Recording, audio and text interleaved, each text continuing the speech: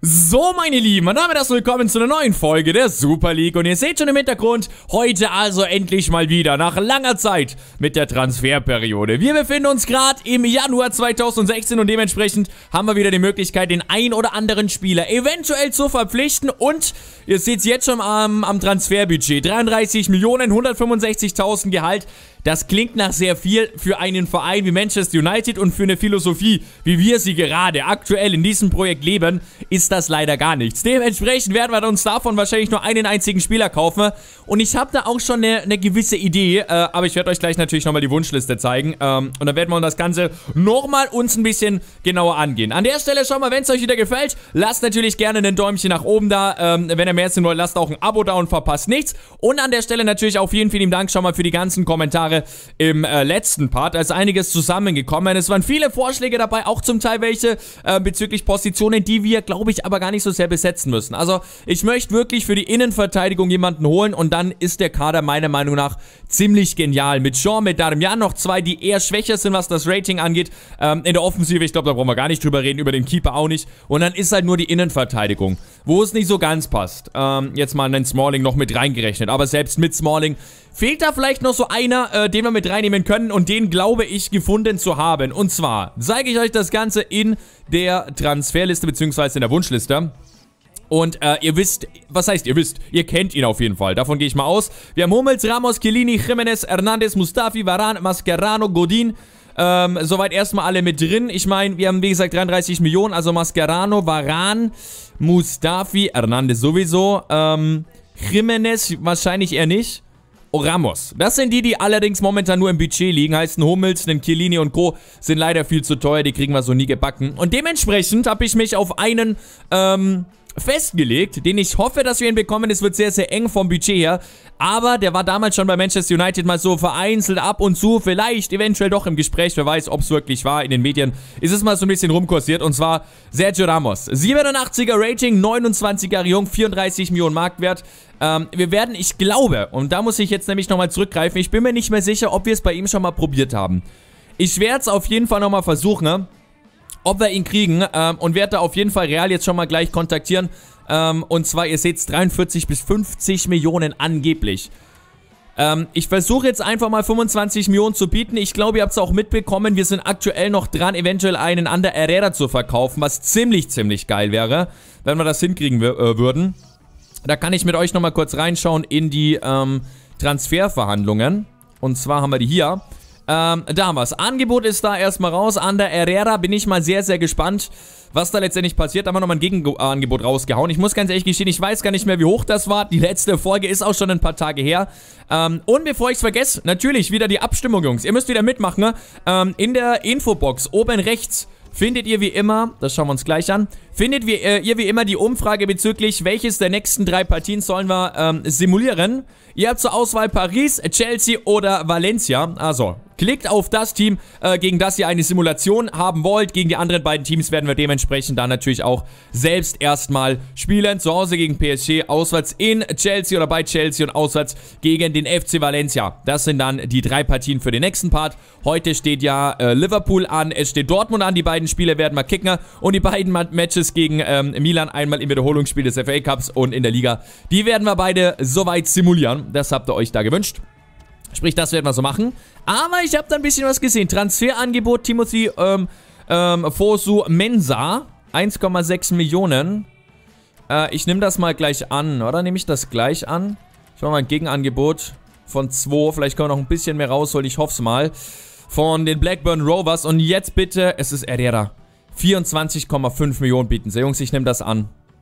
Jungs, ich nehme dieses Angebot an. Ja, ich will. Ander Herrera, den wir damit erstmal verkaufen. Ist das gut? Ist das schlecht? Boah, ich weiß es nicht. Lasst uns mal nochmal ganz kurz zögern. Lasst uns nochmal ganz kurz zögern.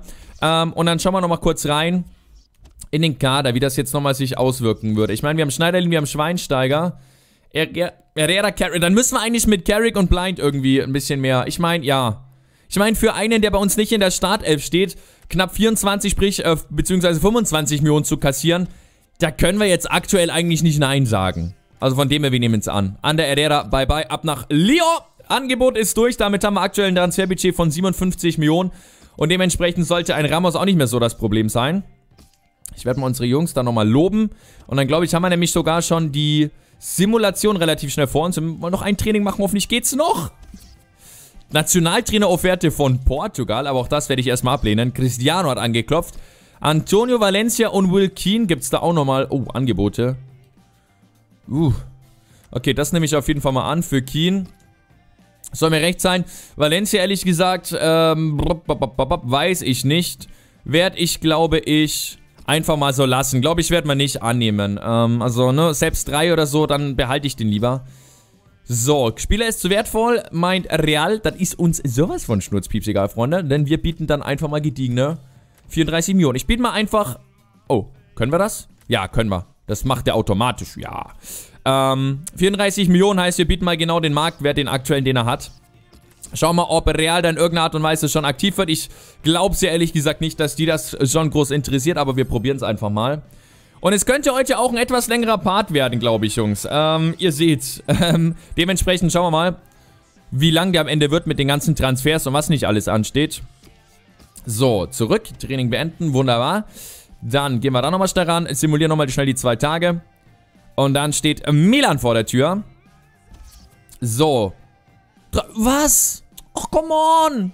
Ander Herrera und Lyon wurden ab... Er möchte nicht umziehen. Wollt ihr mich eigentlich verarschen? Herrera möchte nicht umziehen. Was ist da denn los? Was ist da denn los? Wir werden mal ein bisschen durchwechseln. Ähm, so, Herrera darf nochmal spielen, darf sich da mal zeigen. Da kommt Carrick rein. Da kommt Blind rein. Und da hinten bringen wir... Ja, das taugt, glaube ich, so. Das taugt so. So, gehen wir es mal an, schnell in der Simulation. Jetzt will der nicht umziehen. Ich werde bekloppt. Ich werde bekloppt. Was ist da denn los? Okay, ähm, wir haben das erste Spiel, ich glaube 1-1 oder so gespielt. Es gibt das Wiederholungsspiel diesmal zu Hause. Ich hoffe, wir kriegen es hin gegen Milan. Aber wie angesprochen, FA Cup ist uns völlig egal. Dementsprechend auch mit einer B11. Aber ihr seht schon, was Milan aufgestellt hat. Also da brauchen wir uns eigentlich nicht, nicht großartig verstecken. Trotzdem 1-0. Montolivo, nachdem Baccada den Elfmeter verschossen hat. Erstmal die Führung für die Italiener. Kriegen wir das noch hin? Schauen wir mal. Wenn, glaube ich, geht es direkt gleich in den Elfmeterschießen. Sollten wir hier wieder unentschieden spielen. Montolivo nochmal mit der gelben Karte. Darmian. Menes. Martial mit dem 1-1. Das hört sich gut an. Und dann gibt es am Ende den... Es gibt doch Verlängerung. Ich dachte, es gibt gleich Elfmeterschießen. Okay, dann schauen wir uns die Verlängerung nochmal an. Hoffen, dass es da nochmal gut aufgeht. Und am Ende gewinnen wir mit 5 zu 4. Yes! Woo! Sehr geil. Also, nach Elfmeterschießen gewinnen wir. Langer, langer Kampf. Heißt natürlich auch wieder sehr kräfteraubend. Was nicht ganz so gut ist, aber gut, wir sind immerhin weiter. So, das können wir löschen. Blackburn Rovers. 2 Millionen, das akzeptieren sie immerhin schon mal was. Ähm, ich würde sagen, wir loben uns nochmal vor dem Match. Turnierpreisgeld von 93.000. Jungs, ihr könnt euch sonst wo hinschieben. 65 Millionen wollen die für Ramos. Das heißt, wir dürften uns wahrscheinlich von Ramos erstmal verabschieden. Also, wenn wir Herrera verkaufen würden, dann wäre es kein Thema. Schauen wir gleich nochmal. Ähm, dann wäre das alles kein Thema, weil dann hätten wir die Kohle wahrscheinlich, um, um ihn uns leisten zu können. Aber wenn wir Herrera eben nicht verkauft bekommen, haben wir ein Problem. So, ich schau mal nach Rating. Eine 81 hatte er. Hier ist er. Ähm, auf Transferliste setze ich den Kollegen mal. Wir müssen vielleicht nochmal durchschauen, dass wir da den ein oder anderen nochmal mit draufsetzen. So. Dab, dab, dab, die da oben, die brauchen wir alle. Schweinsteiger wäre auch nochmal eine geile Option. Aber Schweini finde ich eigentlich ziemlich nice hier äh, bei uns. Der taugt ganz gut. So, haben wir da noch einen, den wir draufsetzen können? Einen Romero, da können wir auch noch mal ein bisschen Kohle rausholen, theoretisch. Rushford bleibt natürlich. Ähm, John Stone, den können wir auch noch mal auf die Transferliste setzen. Vielleicht kommt da noch mal was rein. Mensch, Mensch, Mensch! Geht's denn das? Jetzt will der nicht umziehen. Ich bin immer noch nicht drüber hinweg. Kollege, wir brauchen die Kohle. Geh weg. Spieler verkauft. Okay. Ja, und bezüglich ihm müssen wir mal warten. Äh, macht so aktuell keinen Sinn, Jungs. In dem Sinn, Liverpool steht vor der Tür. Das erste Match, das wir äh, heute dann dementsprechend angehen werden. Ich tausche soweit mal eben schnell alles äh, durch, wie immer. Dass wir da mit einer guten Aufstellung erstmal reingehen können. Roch raus, Smalling, Shaw, bap, bap, bam. Wunderbar. Auf der Bank vielleicht mal einen Depay mitnehmen, der ist drin. Und der Rest passt auch. In dem Sinn haben wir das soweit gegen Liverpool. Gehen wir es an. Ich bin mal gespannt. Wir schauen nochmal kurz auf die Tabelle. Den glitzekleinen Blick, wie es da aussieht. Aktuell 44 Punkte, 9 Vorsprung vor Barca und 10 vor den Bayern. Liverpool irgendwo dahinter. In dem Sinn sollten wir und hoffen wir, dass wir das gewinnen im, im Derby. Sehr, sehr traditionsreiches Duell. Derby nicht, aber sehr traditionsreiches Duell der beiden Hassclubs. Gehen wir es an. United zu Gast an der Enfield Road gegen Liverpool. Auf geht's. This is Enfield. So oder so ähnlich, Jungs, ist der Slogan von Liverpool, aber this is Manchester United. So soll es heißen. Wir heute zu Gast in Liverpool. Wir wollen natürlich gegen den Erzrivalen den Sieg einfahren. Wir haben es angesprochen, stehen aktuell sehr gut da, aber das wird eine Hausnummer hier. In dieser Hütte drei Punkte mitzunehmen. Hier haben wir die Tabelle Liverpool mit 29 Punkten. Wollen natürlich auch mit einem Sieg wieder reinrutschen. Richtung Platz 4, Richtung Champions League Plätze, beziehungsweise Europa League ein bisschen weiter dahinten, äh, dahinter. Dementsprechend bin ich sehr gespannt. Liverpool Liverpool gegen United. Geiles Spiel, das ansteht. Liverpool, das schauen wir uns nochmal schnell an. Soweit aber mit keinen großartigen Verstärkungen. Benteke, Coutinho, äh, Ibe, Ibe, wie heißt er? Müllner, Leiva, Henderson, Moreno, Skrittel, Cocker, Klein und Minole im Kastner. Das ist soweit die Ausstellung. Colo Torino auf der Bank. Also da gibt es keine Fangesänge. Und in dem Sinn gehen wir es an. United zu Gast in Liverpool. Flanke ist nicht schlecht.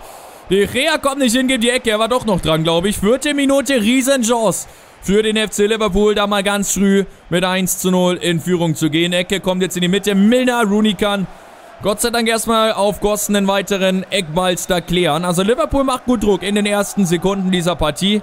Zeigt ein ordentliches Spiel und will da auf jeden Fall den Favoriten ein bisschen ärgern. Gut von Coutinho und dann ist die Rea da. Also wie gesagt, Respekt an Liverpool. Die zeigen eine ordentliche Partie hier in den Anfangsminuten. Schon die zweite kleinere Torannäherung.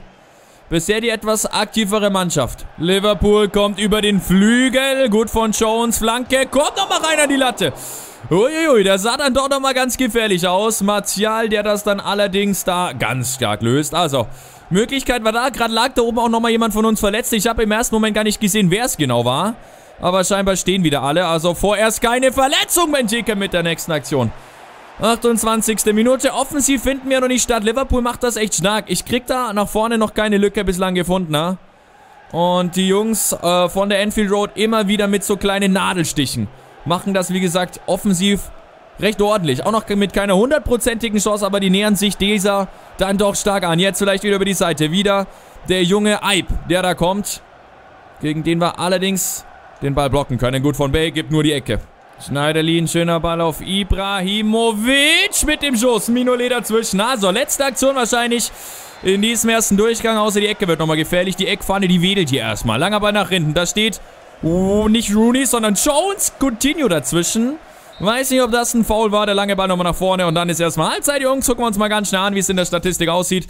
Liverpool, die bessere Mannschaft, würde ich mal ganz schwer so behaupten. So schaut's aus. 5 Schüsse, 4 aus Tor, 61% Ballbesitz. Wir müssen mehr tun, aber wir tun uns bislang noch verdammt nochmal hart. In dem Sinn, ab in den zweiten Durchgang. Ibrahimovic, schöner Ball durchgesteckt. Anthony Martial. Minole ist da. Guter Auftakt in der zweiten Halbzeit. Endlich mal wieder. Nach ja, den ersten 45 Minuten, als wir in letzter Sekunde die Chance hatten. Auch da mal wieder eine Möglichkeit. Mehr ist leider noch nicht. Wir müssen aufwachen. Jones, vielleicht jetzt gleich mal. Vielleicht mal so eine Doppelchance herausspielen. Gareth Bale, Flanke ist auch nicht so schlecht. Aber Minolet dazwischen. Es sieht nach einem besseren Offensivfußball aktuell aus von uns. Gut von Ibra. Riesenchance. Latan Ibrahimovic. Der muss halt dann eigentlich rein, Herr Slatan. Hätte ich da aus kurzer Ecke gehen sollen? Ich weiß es nicht. Riesending auf jeden Fall in der, ja, was haben wir, 70. Minute. Wir haben übrigens schon gewechselt. Oben seht das, eigentlich somit die obligatorischen Wechsel. 70. hatten wir übrigens. Ähm, da muss es fallen. Also von Liverpool kommt nicht mehr viel. Von uns allerdings auch nicht das Spiel. Plätschert so ein klein wenig vor sich hin. Möglichkeit. Eib! De Gea holt ihn raus. Von wegen plätschert vor sich hin. Es nimmt wieder ein bisschen Fahrt auf. Liverpool mit einer guten Chance. Kriegt jetzt noch die Ecke. Coutinho, glaube ich, ne Milner ist das, der sie bringt. De Gea ohne Probleme. Rooney sieht Gareth Bale. Jetzt muss der rein. Bale an den Pfosten. Bale, Bale, Bale, Bale, Bale. Gibt's denn das? 82. Minute, Jungs. Der Ball, er will irgendwie nicht rein. Es gibt die nächste Ecke. Fünfte, nee, zweite für uns in dieser Partie. Und wieder ist es der Belgier. Wieder Simon Minolet. Ohne großartige Probleme. Schluss aus vorbei an der Enfield Road. Am Ende gibt es ein torloses 0 zu 0 unentschieden Spiel, das eigentlich ganz interessant war. Chancen waren auf beiden Seiten da, aber Minolet und De Gea haben da ihren Gast am Ende sauber gehalten. Dementsprechend nur ein Pünktchen. Außer in Liverpool gibt Schlimmeres, gibt Schlechteres, aber wir hätten natürlich sehr gerne den Sieg mitgenommen. Noch dazu, weil wir jetzt gleich noch eine Simulation vor uns haben. Gegen Milan und wir... Oh, wir haben sogar noch die FA Cup Simulation auch noch. Also, das wird ein verdammt langer Part, glaube ich. Ähm... Aber da lief es ja auch nicht so gut gegen Milan. Ähm, ich meine, war mit der B11, muss man auch dazu sagen, mehr oder weniger B11. Aber dann gerade mal so im Elfmeterschießen uns durchgelackt in die nächste Runde und das innerhalb von zwei Matches. Sprich, wir treffen da gleich ein drittes Mal auf die Jungs, müssen uns aber so zwischendurch ein bisschen um Transfers kümmern. Und da schauen wir jetzt mal rein.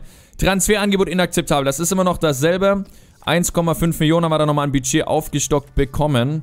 Das Problem ist halt, wir kriegen diesen Kollegen, ähm, Ibrahimovic sag ich schon, den Kollegen hier niemals. Ich biete jetzt einfach mal 36 Millionen. Ähm, das ist erstmal das letzte Angebot. Wenn, müssten wir echt Herrera verkaufen. Und das ist halt das, worauf ich noch so ein bisschen warte. Dass da nochmal ein Angebot für Hector Herrera reinkommt. Ähm, äh, für Hector, für Ander Herrera reinkommt. Aber da kommt halt nichts. Das ist so das Problem. Halt, stoppen, stoppen, stoppen. Nicht so weit simulieren. Dementsprechend müssen wir uns da wahrscheinlich einen anderen holen. Ähm, ja, kannst du knicken, die gehen immer weiter hoch. Also das wird nichts. Dann müssen wir uns dann einen anderen aus der Wunschliste schnappen, Jungs. Ich meine, wir werden am Ende einen kriegen mit 36 Millionen. Findest du schon was, aber... Die Frage ist, wen? Jimenez wird nix. Hernandez ist noch mir ein bisschen zu schlecht. Entweder wir holen uns Mustafi oder Varan. Ah, das ist schwierig. Ich glaube, ich gehe fast mit dem Deutschen. Ich glaube, wir gehen fast mal mit Skodran äh, Mustafi.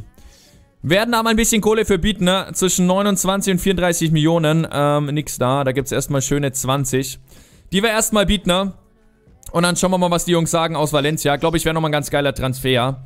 Ah, das ist schade. Ramos hätte ich echt so gern gehabt, aber was willst du machen? Es klappt halt immer, äh, eben nicht immer alles.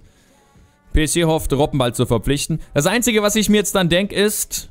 Ja, genau das. Wahrscheinlich kriegen wir dann genau ein Angebot danach. United kommt auf uns zu. Ich möchte mal, ich gehe mal bei 20 Millionen. Wir machen mal 20 Millionen. 20 Millionen Gegenangebot. Nicht zu hoch gefordert, nicht zu niedrig. Und dann müssen wir halt versuchen, nebenbei doch nochmal vielleicht bei Ramos anzuklopfen, was da Sache ist. Bin ich mal gespannt. Ich meine, wir können jetzt wirklich die ganze Kohle, die wir haben, noch raushauen. Sie haben entschieden, das perfekt zu machen. 44 Millionen für Mustafi, what the fuck. Okay, sie haben entschieden, sich das, äh, das perfekt zu machen. Bin ich mal gespannt, äh, gespannt ob wir das vielleicht dann nochmal hinkriegen. Ähm, wir wechseln wieder durch. Es ist nur FA Cup, völlig egal. Dementsprechend Herrera darf von mir aus spielen. Carrick und Blind, Rojo, Jackson, Jones. Ja, dann machen wir lieber so. Und rechts passt's. Und im Tor nehme ich sogar auch mal Romero rein. Also, Mannschaft komplett durchgekrempelt, Jungs. Was, FA Cup oder League Cup? Ich weiß es gar nicht. Irgendwas, was uns auf jeden Fall weiter nicht interessiert. Das war der FA Cup, den wir simulieren werden. Ich werde das sogar diesmal überspringen. Dadurch, wie gesagt, dass der Part eh ein bisschen länger geht. Ähm, überspringen wir das Ganze. Wir haben immer noch ein Match und ein Ligaspiel vor uns. Carrick mit dem 1-0. Wir sind also auch eine Runde weiter im FA Cup. Auch das ist doch schon mal eine sehr, sehr feine, schöne Geschichte. Simulieren dann nochmal das äh, Training natürlich durch, damit auch da die Jungs weiter einen Fortschritt machen. Und dann gucken wir mal, ob das fix ist mit Herrera. Mit Ander Herrera, ob wir da nochmal ein bisschen vielleicht no, mehr Kohle kriegen für Ramos. Ich weiß es nicht. Es wird nur schwierig, irgendwie so einen, so einen Spieler wie Ramos zu kriegen, wenn das mit Herrera nicht klappt. So, Spieler verkauft. Spieler verkauft. Nationaltrainer-Offerte Schweiz. Es tut mir leid an alle Schweizer. Ablehnen. Die Rea, bla bla bla. Haben wir gerade aktuell keine Zeit, sorry. So, wir gucken jetzt mal rein. Wir haben jetzt 51 Millionen. Es gibt jetzt nochmal ein neues Angebot, Jungs. United gibt nochmal Gas auf dem Transfermarkt. So. Zu Transferangebot. Die wollen 67 Millionen, haben sie vorhin gemeint. Wir bieten jetzt mal... Ich biete jetzt einfach mal 50. Fuck, wir können auch nur 50 bieten. Wir bieten jetzt einfach 50 fucking Millionen. 50 Millionen für Ramos. Mal schauen, ob sie Ja sagen. Ich hoffe es einfach. Ich hoffe es einfach. Das wäre sehr gut. Und jetzt spielen wir auch noch gegen Dortmund. Da, wo, wie gesagt, Herrera hin ist. Inakzeptabel. Die wollen immer noch mehr, Mann. Können wir einen Spieler noch mit draufhauen? Ähm... Wen können wir da noch mit draufhauen? Ich würde fast sagen, vielleicht einen Rojo noch. Ich mach mal Rojo und äh, das hier. Rojo und 50 Millionen, Jungs. Mehr können wir fast nicht mehr angehen. Mehr haben wir nicht. Bitte, nimmt an. Bitte. Äh, was? Nee, weder sind wir interessiert. Die nehmen nicht an. Okay, damit haben wir nur noch eine Option. Ja, Gea ist mir scheißegal. Wir machen nur eine Saison. Das ist halt das Unrealistische an der Karriere, aber das haben wir angesprochen. Ich versuche jetzt nochmal das Budget zu erhöhen. Ligameister, fuck, wir, wir können halt nicht mehr machen fast. Ich mache jetzt nochmal 10 Millionen. Come on, bitte, äh, EA. B bitte, lieber Vorstand. Macht das, dann können wir uns Ramos leisten. Wenn nicht, müssen wir uns ganz schnell Mustafi verpflichten und dann war's das. Wir kriegen nicht mal eine Nachricht. Wir kriegen nicht mal eine Nachricht. Ähm, ich werde in der Zwischenzeit, wobei das können wir jetzt wieder nicht machen, ne? Schon mal den Ramos-Transfer angehen. Nee, wir machen es anders. Wir machen jetzt erstmal das Match gegen Dortmund. Ähm, das heute erstmal noch ansteht. Oh, und das Spiel ist verschoben worden. Oh, das ist ein bisschen schwierig. Dann, dann machen wir das heute anders. Dann mache ich nur das Match gegen Dortmund und dann seht ihr in der Umfrage eine, eine, drei andere Vereine.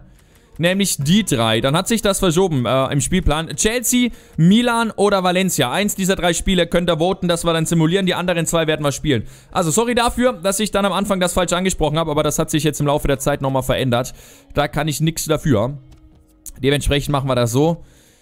Und ich glaube ehrlich gesagt nicht, dass das was wird mit dem Budget erhöhen und so. Aber wir probieren es. Wir schauen einfach mal. Wir, wir, drücken die Daumen. Wenn nicht, holen wir uns Mustafi hinten. Bin ich auch zufrieden. Bin ich soweit auch zufrieden. So, Schweinsteiger. Wir machen natürlich wieder die Top 11, gar keine Frage. Bale, Martial, ähm, Smalling, Jean, Darmian passt. Und im Kasten De Gea. Und sonst passt das weit, Jungs. Wir gehen rein. Es ist mittlerweile der, lasst mich lügen. Wir schauen mal gleich rein, welcher Spieltag das aktuell ist. Der 22.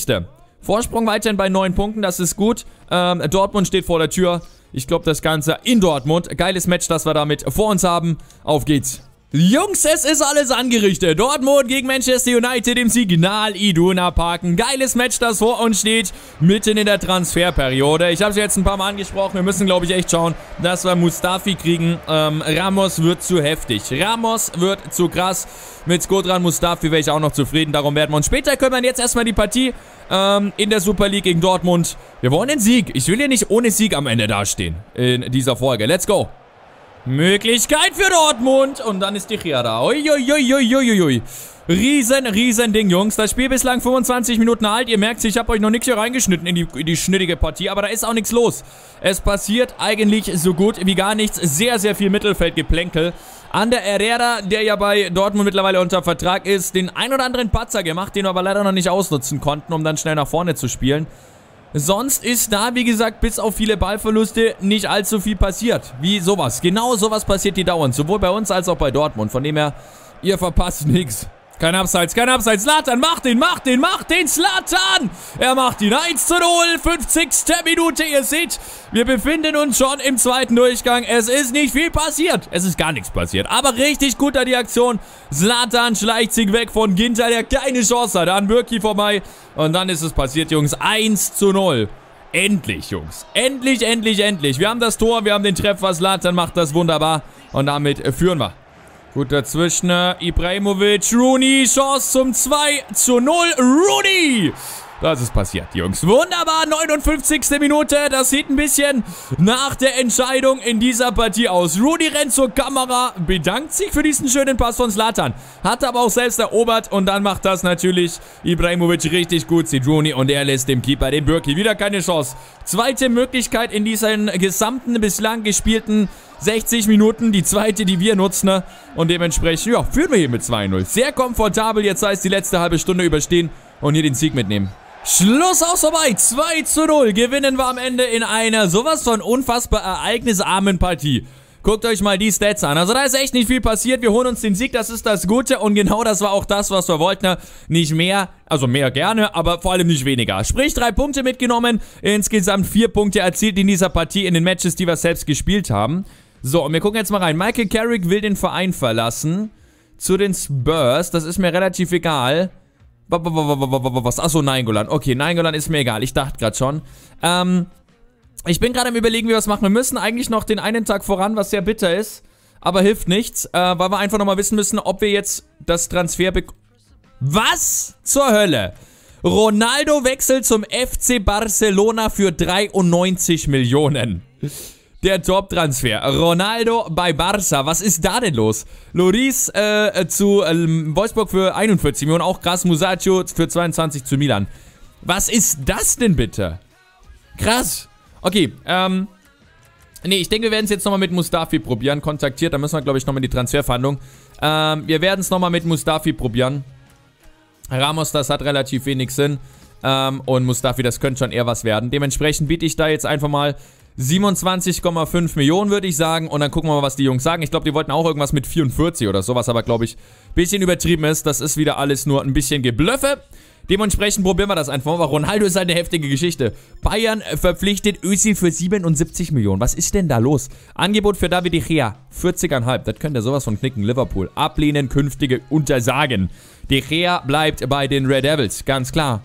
Die wollen 40,5 Millionen. Das Gute ist, die können wir auch wirklich bieten, ne? Möchte ich aber noch gar nicht. Noch haben wir ja ein bisschen Zeit.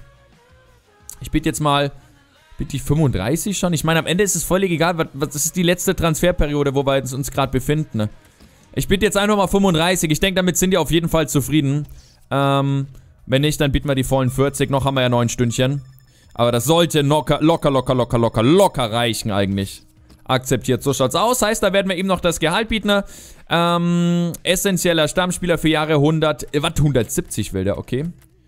Zack, die, Zack, die Bohne. So, 170.000, vier Jahre essentieller Stammspieler, ab dafür Mustafi bei Manchester United. Ähm, neben Kollege Schweinsteiger, also der zweite Deutsche, den wir nach England holen. Dortmund gewinnt Rennen um Agero. 82,5 Millionen für Dortmund. Was ist gerade los in dieser Fußballwelt? Annehmen. So, Mustafi ist bei uns. Nice. Dann haben wir wenigstens ihn. Ich hätte, wie gesagt, gern Ramos gehabt, aber das, das hat einfach nicht geklappt am Ende. Was ist da bitte mit Dortmund los? Jetzt lasst uns nochmal schnell reinschauen. Ähm, Mustafi kommt dann erst dazu. Ich bin am überlegen, ob wir noch, wir schauen mal nochmal in unsere Wunschliste rein, ob es nochmal irgendeinen gibt, den wir, den wir gebrauchen könnten, ne? 16 Millionen haben wir immerhin noch. Ähm, der darf halt aber nicht viel wert sein. Luca, Lucas Hernandez macht relativ wenig Sinn, nochmal einen Innenverteidiger zu holen. Ähm, wenn bräuchte wir halt mal eher noch so einen, wisst ihr, auf wen ich jetzt nochmal Bock hätte? Den suche ich jetzt mal, Jungs. Boah, wenn das klappt. Wenn das nochmal klappt, wäre mega. Ich hätte mal Bock auf einen Pirlo. Ich weiß nicht, wie ich auf ihn komme. Ich hoffe, der hört nicht auf. Aber das wäre mega. Andrea Pirlo, Jungs. Andrea Pirlo. Ich biete 5 Millionen.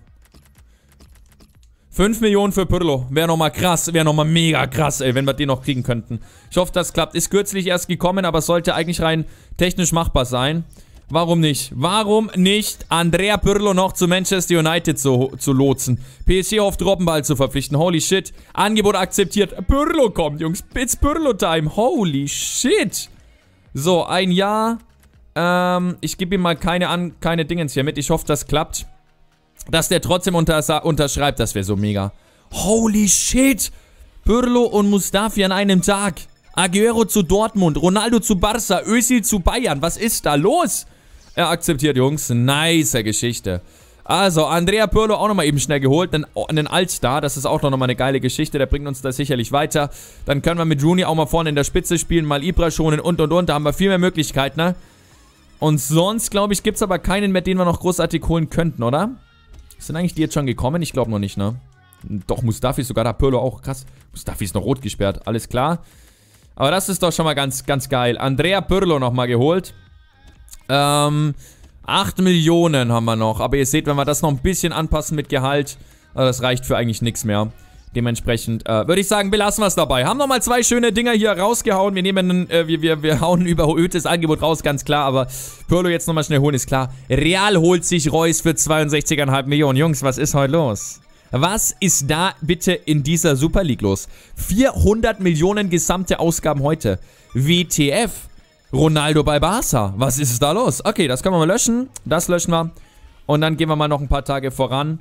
Und dann war es das erstmal soweit für heute. Ich bin sehr zufrieden. Also Pirlo geholt, Mustafi, leider kein Ramos, aber ich glaube in Pirlo, das war jetzt so eine spontane, eine Schnapsidee, die aber doch, glaube ich, nochmal ganz gut war und der uns da auf jeden Fall nochmal ein bisschen weiterhelfen kann. Bin ich auf jeden Fall zufrieden, gefällt mir gut. Ähm, und dann, glaube ich, geht das in Ordnung.